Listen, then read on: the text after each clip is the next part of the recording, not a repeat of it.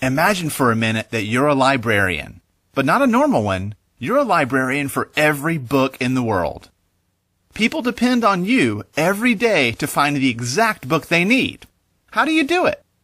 You need a system. You need to know what's inside every book and how books relate to each other. Your system needs to take in a lot of information and spit out the best answers for a patron's questions. It's not an easy job. Search engines like Google and Bing are the librarians of the internet. Their systems collect information about every page on the web so they can help people find exactly what they're looking for. And every search engine has a secret recipe called an algorithm for turning all that information into useful search results. Now, if you own a website, search results matter. When your pages have higher rankings, they help more people find you. The key to higher rankings is making sure your website has the ingredients search engines need for their recipes. This is called search engine optimization, or SEO.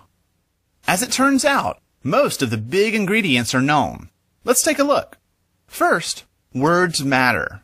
Search engines account for every word on the web. This way, when someone searches for shoe repair, the search engines can narrow results to only the pages that are about those words. Second, titles matter. Each page on the web has an official title, but you may not ever see it because it's in the code.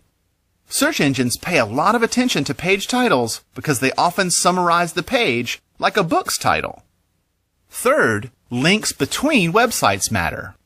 When one web page links to another, it's usually a recommendation, telling readers this site has good information.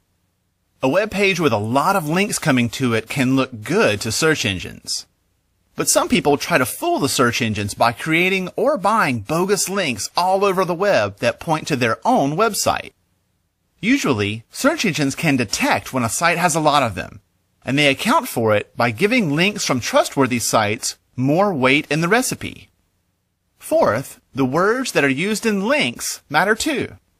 If your web page says Amazon has lots of books and the word books is linked, search engines can establish that Amazon.com is related to the word books. This way, when someone searches for books, that site will rank well. Lastly, search engines care about reputation. Sites with a consistent record of fresh, engaging content and growing numbers of quality links may be considered rising stars and do well in search rankings. These are just the basics, and the recipes are refined and changed all the time.